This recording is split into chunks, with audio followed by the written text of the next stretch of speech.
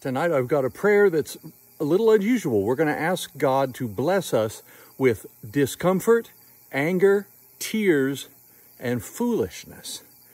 This is adapted from a, a, a Franciscan benediction. I liked it so much I turned it into a prayer.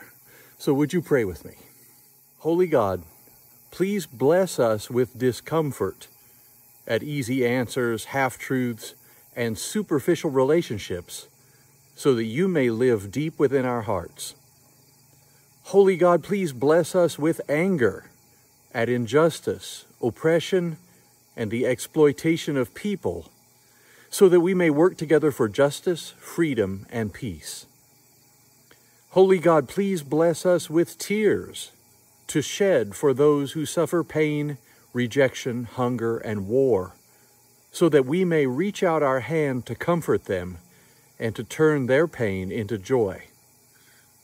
Holy God, please bless us with enough foolishness to believe that we can make a difference in the world, so that we can do what others claim cannot be done, to bring justice and kindness to all our children and to the poor. In Jesus' name, amen. Thank you for joining me for that prayer tonight. God bless you. We will see you tomorrow.